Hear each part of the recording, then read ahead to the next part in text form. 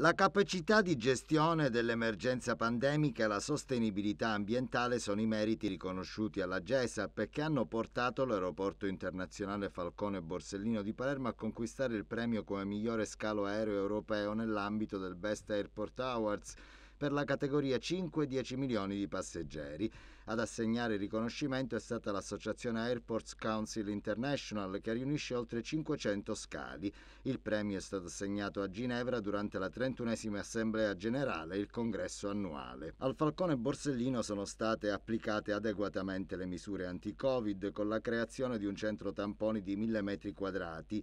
Anche la sostenibilità ambientale ha meritato una menzione con l'acquisizione del secondo livello di riduzione dell'Airport Carbon Accreditation. È stato anche realizzato un parcheggio per auto con la produzione di energia dai pannelli fotovoltaici.